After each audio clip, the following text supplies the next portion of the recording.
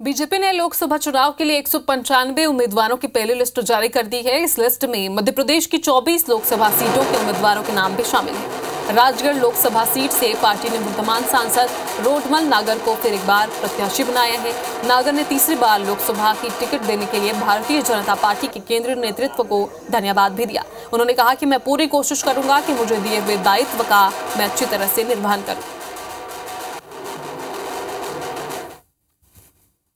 सबसे पहले तो मैं भारतीय जनता पार्टी के केंद्र, केंद्रीय नेतृत्व को बहुत बहुत धन्यवाद देना चाहता हूँ। सारे प्रदेश के नेतृत्व में और सारे राष्ट्रीय नेतृत्व में जो ये दायित्व मुझे दिया है, मैं पूरी कोशिश करूँगा, इसका निर्वहन करूँ।